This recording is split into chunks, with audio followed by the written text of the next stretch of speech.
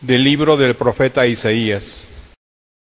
El pueblo que caminaba en tinieblas vio una gran luz. Sobre los que vivían en tierra de sombras, una luz resplandeció. Engrandeciste a tu pueblo e hiciste grande su alegría.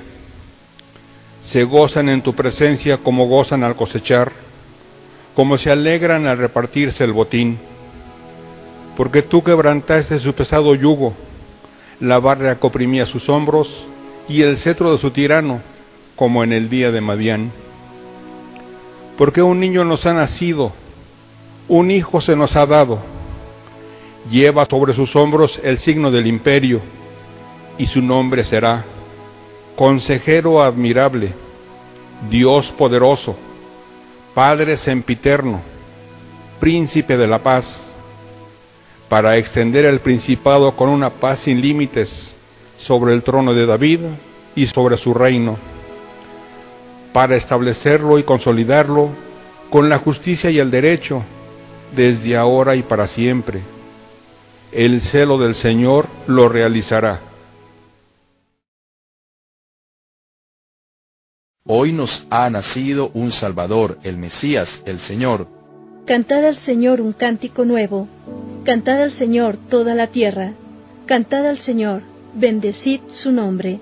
Hoy nos ha nacido un Salvador, el Mesías, el Señor. Proclamad día tras día su victoria, contad a los pueblos su gloria, sus maravillas a todas las naciones. Hoy nos ha nacido un Salvador, el Mesías, el Señor. Alégrese el cielo, goce la tierra, retumbe el mar y cuanto lo llena Vitoreen los campos y cuanto hay en ellos, aclamen los árboles del bosque. Hoy nos ha nacido un Salvador, el Mesías, el Señor. Delante del Señor, que ya llega, ya llega a regir la tierra, regirá el orbe con justicia y los pueblos con fidelidad. Hoy nos ha nacido un Salvador, el Mesías, el Señor. Lectura de la carta del apóstol San Pablo a Tito ha aparecido la gracia de Dios que trae la salvación para todos los hombres, enseñándonos a renunciar a la impiedad y a los deseos mundanos, y a llevar ya desde ahora una vida sobria, honrada y religiosa, aguardando la dicha que esperamos, la aparición gloriosa del gran Dios y Salvador nuestro Jesucristo él se entregó por nosotros para rescatarnos de toda maldad y para prepararse un pueblo purificado, dedicado a las buenas obras.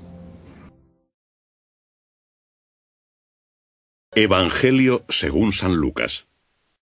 Y sucedió que por aquellos días se promulgó un edicto de César Augusto para que se empadronase todo el mundo. Este primer censo fue hecho siendo Quirino gobernador de Siria y todos fueron a inscribirse, cada uno a su ciudad. José subió también desde Galilea, de la ciudad de Nazaret, a Judea, a la ciudad de David, que se llama Belén, por ser él de la casa y familia de David, para empadronarse con María, su esposa, que estaba encinta. Y sucedió que estando allí, se cumplieron los días de su parto, y dio a luz a su hijo primogénito, lo envolvió en pañales y lo reclinó en un pesebre, porque no había lugar para ellos en la posada.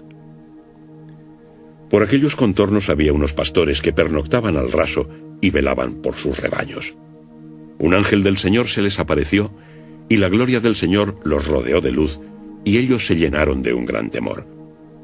El ángel les dijo, No temáis, mirad que os anuncio una gran alegría, que lo será para todo el pueblo. Hoy os ha nacido un Salvador, que es el Cristo Señor, en la ciudad de David y esto os servirá de señal. Encontraréis a un niño envuelto en pañales y reclinado en un pesebre. Al instante apareció junto al ángel una multitud del ejército celestial que alababa a Dios diciendo, Gloria a Dios en el cielo y en la tierra paz a los hombres que ama el Señor.